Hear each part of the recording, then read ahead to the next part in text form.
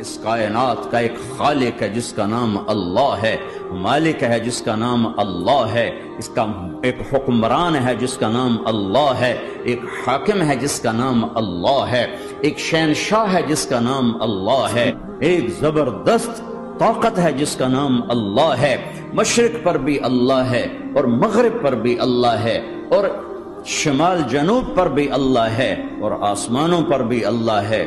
اور دھرتی پر بھی اللہ ہے۔ اللہ کی قسم، میرا ہاتھ کا یوں حرکت کرنے پر بھی میرے اللہ کا قبضہ ہے۔